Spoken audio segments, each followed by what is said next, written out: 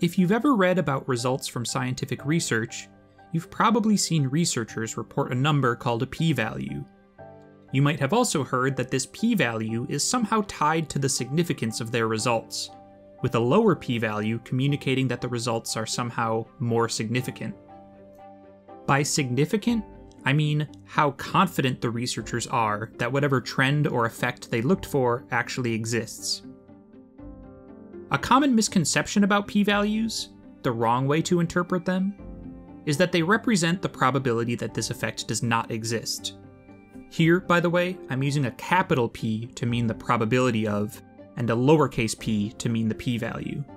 If this were true, you could interpret 1 minus p as the probability that the trend does exist, and so a p-value of 0.05 means that there is a 95% chance of the researchers being right. But remember, this is not how you should interpret the p-value, and it could lead to some misunderstandings of the results of the study. So what does a p-value actually tell us, and how is it calculated? Well, if you look up the definition, here's what you'll find. If this definition makes absolutely no sense, then this video is for you. My goal is to explain this definition in a way that gives you some intuition into how the p-value is calculated, why researchers report a p-value, and how to interpret it. In particular, I want to avoid a lot of the calculations and mathematical derivations that typically make this concept inaccessible to those without a statistical background. We can always come back to these equations later once we have a grasp on the intuition behind how they're used and derived. To begin our explanation, let's start with a concrete example. Here's our scenario. You're watching your friend play Minecraft. Beating this game involves hunting blaze enemies to collect blaze rods. Each blaze that you kill has a 50% chance to drop a blaze rod, and a 50% chance to drop nothing. As your friend plays, you collect some data. Over the course of many playthroughs, they've killed 100 blazes and collected a total of 67 blaze rods. Since blazes are only supposed to drop a rod 50% of the time, 67 out of 100 seems a little too high, and so you suspect that they might be cheating by increasing the probability of a blaze rod. However, your friend insists that they just got lucky. So, as a statistician, you wonder did your friend cheat? First, let's think about how we can frame this question in a more mathematically precise way. There are two possible worlds that we might be living in one in which our friend cheated, and one in which they did not and got lucky. In each of these worlds, we can come up with a probabilistic model of how our data was generated. In the lucky world, the probability of getting a blaze rod is exactly 50%. In the cheating world, our friend modified the probability to be greater than 50%. Our question now is this which of these two models do we think the data was generated by?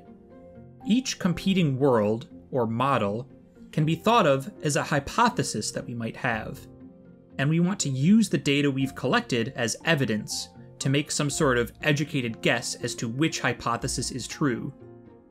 This type of analysis is called hypothesis testing, and it's one of the most important methods used in statistics. It's important to realize here that, regardless of how much data we collect, it will be impossible to answer our question with complete certainty, since no matter how many blaze rods your friend gets, it will always be theoretically possible to get that many just by being lucky.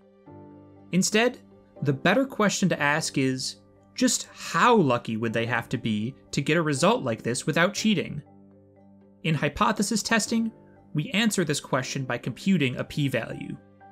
A p-value essentially quantifies just how lucky our friend would have to be if they weren't cheating. Hypothesis tests can take on many different forms depending on the question we're trying to answer. To give another example, say we want to test the effectiveness of a new type of drug.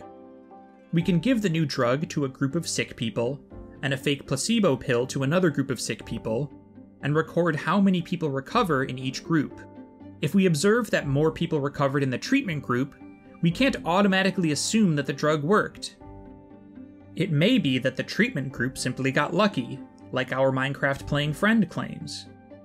Once again, the p value is capturing just how lucky the treatment group would have to be in this case if the drug actually did not work.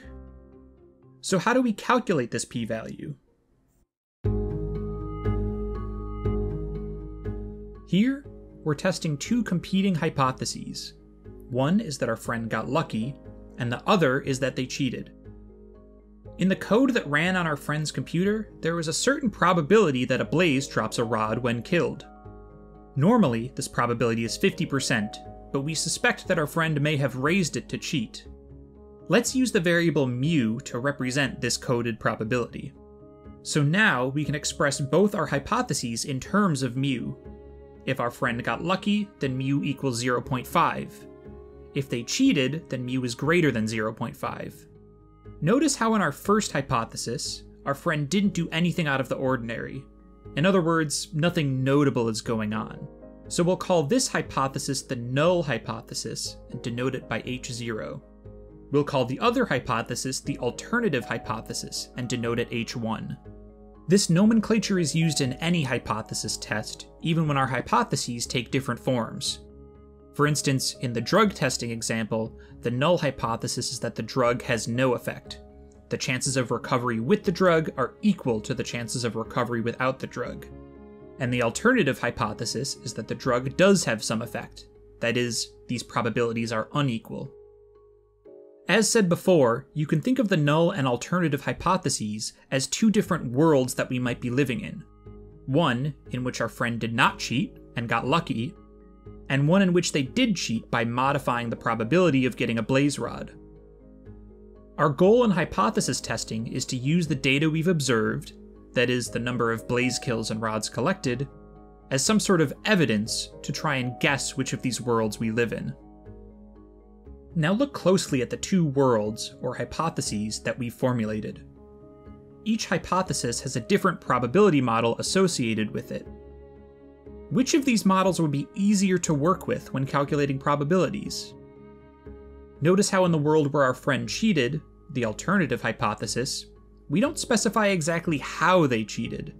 We don't know, for instance, whether they modified the probability mu to be 60%, 70%, or say 85%. Without knowing mu, we aren't even sure what the model is, so it's going to be very hard to calculate probabilities in this world. On the other hand, look at the world where our friend got lucky, the null hypothesis. In this world, we know that mu is exactly 50%. That's how the game's supposed to be coded.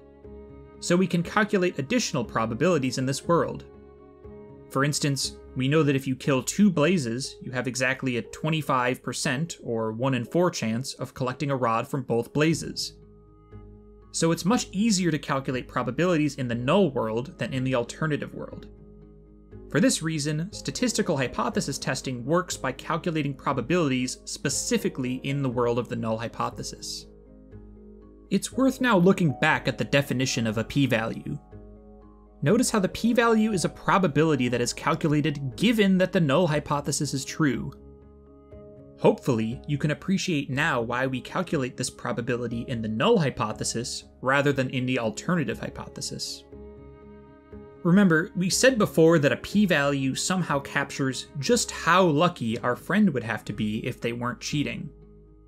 Notice that if they weren't cheating is just saying the same thing as given the null hypothesis is true. So now take a look at the first part of the definition. This somehow corresponds to the just how lucky part of our intuitive definition. But what do we mean exactly by at least as extreme? And if the null hypothesis is true, if our friend got lucky, what's the probability of killing 100 blazes and collecting at least 67 rods? To understand this part of the definition, we'll first need to take a step back and think about how to calculate probabilities like this in the first place.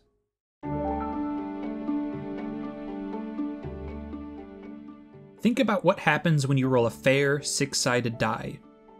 There are six possible outcomes, the numbers 1 through 6, and each outcome has a 1 6th chance of occurring. We can summarize this scenario in a plot where the x axis contains all the possible outcomes, and the y axis represents probability. The height of each bar represents the probability of seeing that outcome. What we have shown here is called the probability distribution for a single dice roll, or more precisely, the probability mass function. This function takes as input a possible outcome and returns the probability of that outcome occurring. You can think of these probabilities as weights of each outcome occurring, hence the term mass. If the die is fair, each outcome is weighted equally. But if the die is weighted so that 6 has a greater chance of coming up, then our probability mass function would look a bit different.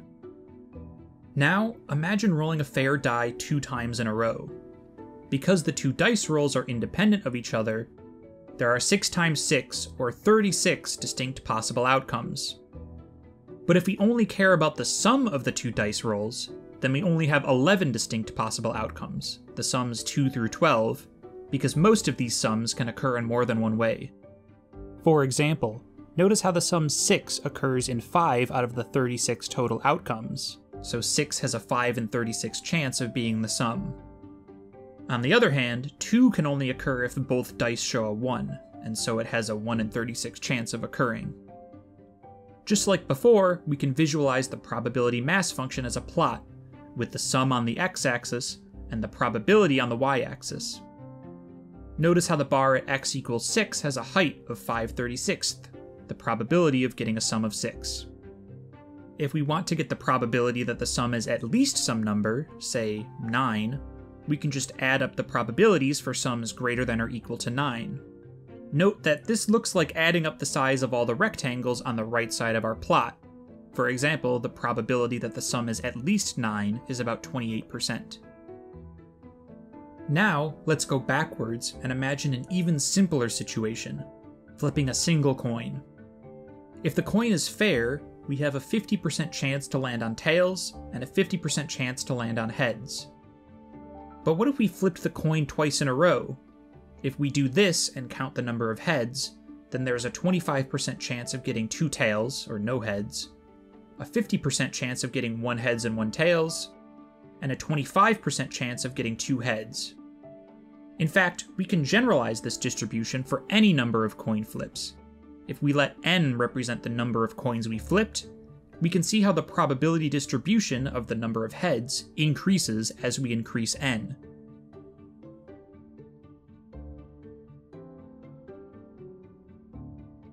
This kind of distribution is called a binomial distribution, and it comes up whenever we repeat some two outcome event multiple times, like flipping a coin. Now, I'm not going to talk here about how we can actually calculate each probability in the binomial distribution, that's a bit beyond the scope of this video. But just know that if we're given a certain number of coin flips n, then for any number between 0 and n, we can calculate the probability that we flip that number of heads. And just like before, we can use these individual probabilities to calculate the probability of getting at least that many heads for any number that we choose.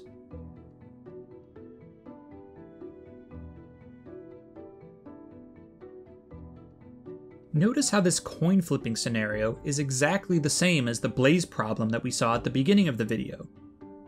In other words, the model of flipping a fair coin and counting the number of heads is equivalent to watching a non-cheating player kill blazes and counting the number of blaze rods. Remember that under the null hypothesis, each blaze has exactly a 50% chance of dropping a rod when killed. So in the null world, killing n blazes and collecting x rods has exactly the same probability as flipping n fair coins and getting x heads, which we can find using this binomial probability distribution. It's important to keep in mind that this distribution only applies if we live in the null world, the world where no cheating occurred. Why is this? Remember that in the alternative world, our friend cheated to make the probability mu greater, so this distribution would look different, but remember that there's no way of knowing exactly how much they increased it by. So we can't calculate probabilities in the alternative world because we don't even know which binomial distribution to use. Now, it's time to return to our p-value definition. This is the probability, under the null hypothesis, of getting a result at least as extreme as the observed result. Armed with the binomial distribution, we're now ready to calculate this probability. In our example, we said that our friend killed 100 blazes. So if they didn't cheat, if we live in the null world, then the probability of them getting x rods is given by this binomial probability distribution, with n equal to 100 and mu equal to 0.5. The data that we observed was our friend collecting 67 rods. Getting a result at least as extreme as the observed result would mean getting at least 67 rods. To find this probability, we just add up the probability of seeing all x values from 67 to 100, which corresponds to this region of tiny rectangles to the right of the plot. Let's zoom in on this region to better see what it looks like. Adding up all of the probabilities in this region gives us 0.0004, or about 1 in 2500, our p-value. Remember what this p-value means. It's the probability that if our friend didn't cheat, they would get at least 67 blaze rods. To put it another way, our friend would need to be in the top 0.04% of luckiest outcomes to get this result without cheating. Think for a second about what this 1 in 2500 p-value means. It means that if we observed 2500 non-cheaters playing, on average only one of them would get as lucky as our friend. Hopefully, now you're able to appreciate what we said earlier about the p-value quantifying how lucky our friend would have to be if they weren't cheating. But how low does our p-value need to be for us to conclude that they were cheating? Returning to our definition, notice how a low p-value is saying that the null world is unlikely to generate the result that we observed. This suggests to us that we likely don't live in the null world, or, in the lingo of statistics, we should reject the null hypothesis. It's standard in research to reject the null hypothesis if the p-value is less than 0.05, or 5%. But why 5%? Maybe you're a little more skeptical and prefer not to rule out the null hypothesis unless p is less than, say, 1%, and that's totally fine. There's no objective reason to prefer a 5% threshold over a 1% threshold, so this 5% convention is somewhat arbitrary. This threshold is called a significance threshold, and if our p-value is lower, we say that our hypothesis test is statistically significant. Since our p-value is 0.0004, it's going to be lower than any reasonably chosen threshold, and so we reject the null hypothesis and conclude that our friend very likely cheated. It's important to remember, though, that this 1 in 2500 probability is not the probability that they didn't cheat.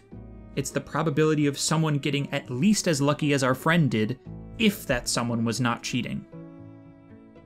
This is the end of part 1 of my explanation.